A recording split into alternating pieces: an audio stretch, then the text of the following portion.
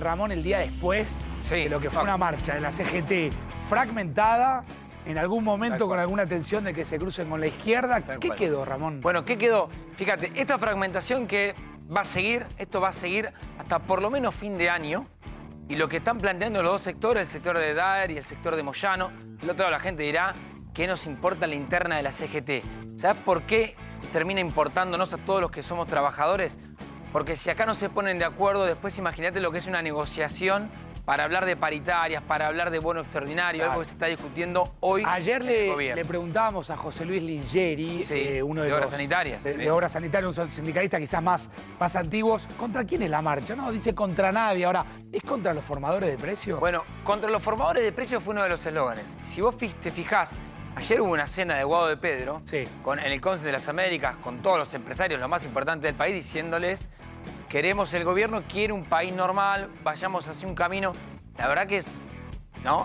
Contraste importante. Es un ¿no? contraste de lo que fue la CGT aliada al gobierno, Sí, sí, pienso- dentro del gobierno. Pienso ayer eh, a Moyano tratando a Mercado Libre y a otras empresas de hijos de puta, Así, perdón la palabra, textual. y a la noche el ministro del Interior diciéndole al Círculo Rojo queremos normalidad. Y además, Digo, a ¿qué, ver, qué no- país miramos? no es que queda solo Moyano, sino debajo de Moyano hay toda una línea sindical que está en el Congreso, que tiene sectores de poder, que después eh, ahí sí hay una contraposición clara a lo que está marcando otra ala del gobierno. Por parte del gobierno, todos los mensajes fueron los mismos. Nosotros no nos sentimos interpelados, eh, creemos que van en lo que estamos marcando el rumbo de la inflación. Fue todo muy lavado. Ahora, del otro lado quedó la izquierda.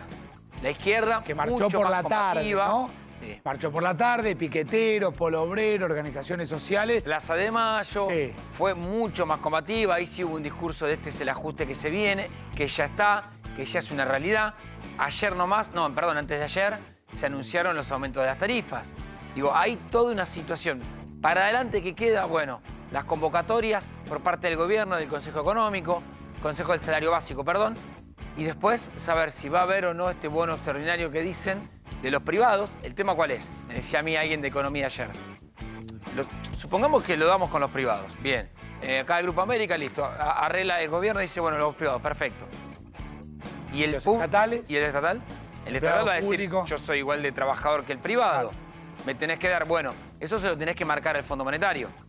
Nunca nos olvidemos que hay un corset. Sí, sí, ¿cómo te presentás ante el Fondo Monetario repartiendo eh, un bono público y no... Bueno, digo, Es habrá un- que ver, no es está claro. tema. Ahora, me llamó la atención la inacción del presidente ayer. No hubo agenda del presidente. Estuvo en La Rioja, una agenda federal, pasó Muy desapercibida. desapercibida. Vos fíjate que, a ver, un, un síntoma, todos los días, hace ya, desde que arrancamos el equipo de noticias, la agenda del presidente estaba casi en cadena nacional. Claro. Porque ahí venían los anuncios, ahí venía, bueno, ya está. Se corrió. Se corrió, ya no pasa más. Hoy tiene una agenda también secundaria. Fíjate algunas de las frases que dejó Pablo Moyano. Esto que vos marcabas, en eh, perdón, Facundo Moyano. Ahí voy al otro costado. Sí. ¿Por qué? Facundo Moyano fue diputado nacional, renunció a la banca.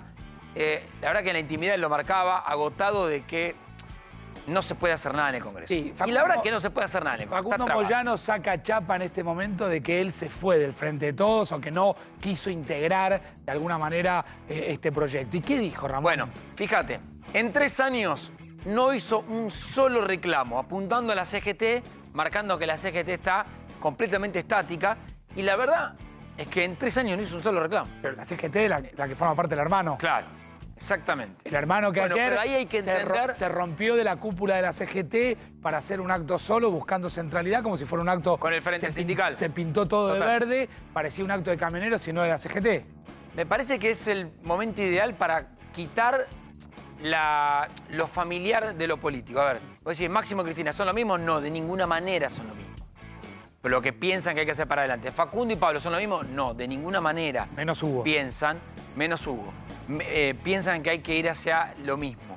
Y acá, lo que está marcando Facundo Moyano, que es lo que está mar- estamos marcando lo que estamos laburando todos los días, es, bueno, ¿y qué hace la CGT con todo lo que está pasando? Claro. Además de jugar la interna la 9 de julio. Pero mira esta frase. Mirá, el gobierno de Macri no fue bueno, pero nosotros no somos mejores. Esta fue la frase que más molestó a algunos dirigentes que están en la mesa chica de la CGT. Una cosa es decir, estamos quietos. Tuvo mucha repercusión esta frase. Sobre todo por, y bueno, ¿y vos qué estás haciendo? Claro. A mí lo que me contaban ayer, en esos machos de Love, y bueno, ¿y vos qué haces? te fuiste de la Cámara porque no te dieron poder. Sí, sí, sí. Eh, digamos, ¿a qué estás jugando? ¿De dónde hablas, aparte? ¿Desde no? dónde hablas? ¿Qué es eso de tu vida? Digamos, dentro de la rama sindical. Bueno, esa frase generó bastante ruido. eh, entiendo que ahora habrá que ver la consecuencia. Sí. Acá estas cosas no se olviden. Y la frase de Facundo fue terrible porque los puso a la par. Sí, el que está, no digo guardado, pero corrido por ahí de la escena es el propio Sergio Massa, que logró Sí. centralidad en esa primera semana, ¿te acordás? Sí. Eh, primero de Cámara de Diputados, después Sí. Asunción, después, Voy a buscar después- algo para después los acá, anuncios. Y de repente un Massa que maneja bien el espectro mediático, porque habitualmente se mostraban los medios, solamente se muestra a través de algunas fotos. También es cierto que ahora hay que dar solo malas noticias. ¿no? El aumento, Y bueno, Malena le dirá redistribución. El aumento de tarifas, eh, tenés que salir a buscar plata que eh, convenciste a muchos que estaba y no está.